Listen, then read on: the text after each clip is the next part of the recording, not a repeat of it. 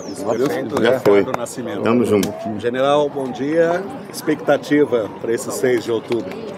expectativa é grande. Fizemos nossa caminhada com o apoio da população, apresentamos nossos projetos, visitamos tudo que é comunidade, tudo que é bairro.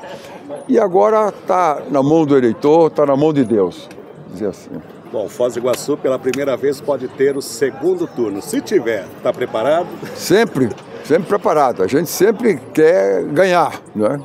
Ganhar na, no primeiro round, vamos dizer assim. Mas somos preparados para o segundo turno, até porque o, a cidade cresceu, a, as concorrências são grandes.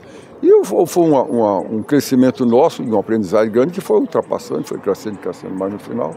E agora estamos numa posição, diria assim, mais vantajosa, pelo menos as pesquisas dizem. Vamos ver. Preparo para o segundo turno, sim. Ok, obrigado, general.